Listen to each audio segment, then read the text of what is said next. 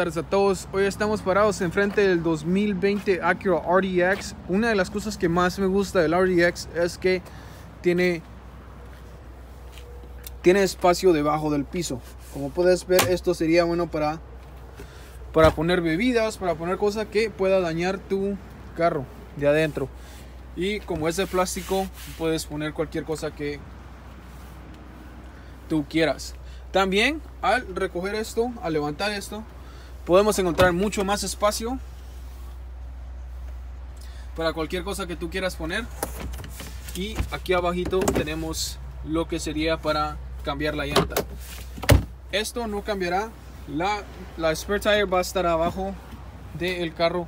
Entonces espero que te haya gustado este video y que pases un feliz día.